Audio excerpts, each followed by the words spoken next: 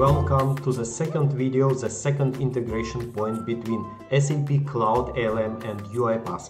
In this scenario, I'm going to start my journey actually from UiPath Studio. So here we are going to create a new test case. So I'm going to build a test automation. This test case would be my uh, so just put it like test case 05 this would be my test case so uh, I'm going to build an automation for purpose of this video. Let's use the same approach. We are going to compare 1 is equal 1.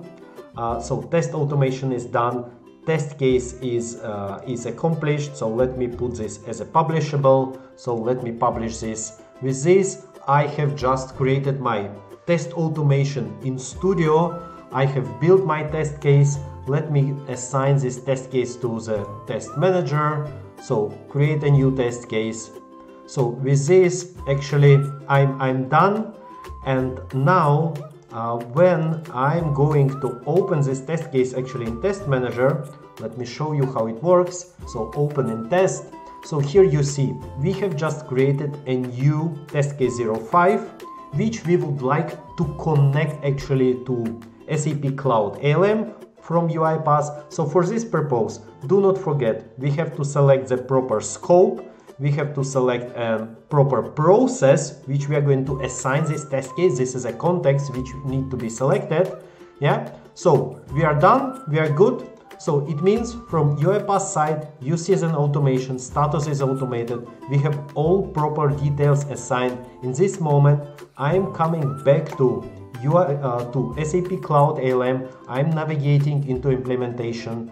I'm going into test preparation app and here I have an ability to synchronize the test cases from UiPath.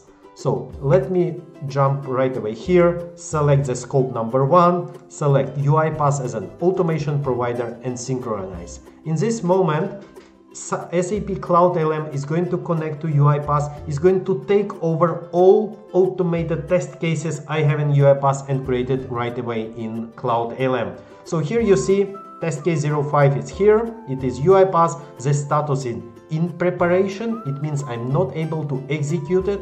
I'm going in, I'm happy, let me change the status in being prepared.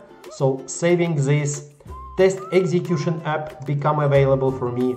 I'm navigating in the test execution app. The status is initial. So this is exactly the same approach. I'm able to execute. I'm able to see the results once it is executed. So the execution is also happening from UiPath Test Manager, you will get the results back in, in Cloud ALM, so it's bidirectional synchronization of the results.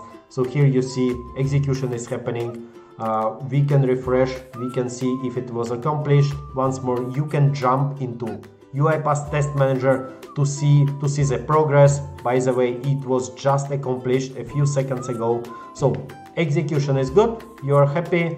Going back to Cloud ALM once more you are able to refresh and you will see the execution happening.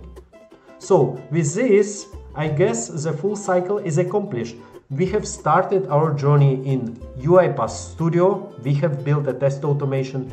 We assigned this test automation to the test case in UiPath Test Manager and this test case were synchronized back into Cloud ALM and executed. Thank you very much and goodbye.